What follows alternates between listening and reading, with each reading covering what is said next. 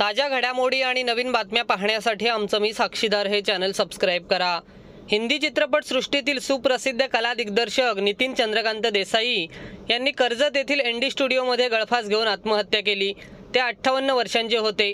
प्राथमिक माहितीनुसार नितीन देसाई यांनी गळफास लावून आत्महत्या केली. एनडी स्टुडिओमधील काही कर्मचाऱ्यांना गळफास लावलेल्या अवस्थेत नितीन देसाई दिसून आले.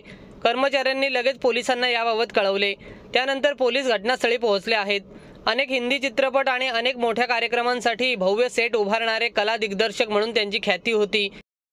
दोन हजार पाचमध्ये नितीन देसाईंनी कर्जत येथे बावन्न एकरमध्ये पसरलेला एनडी स्टुडिओ सुरू केला.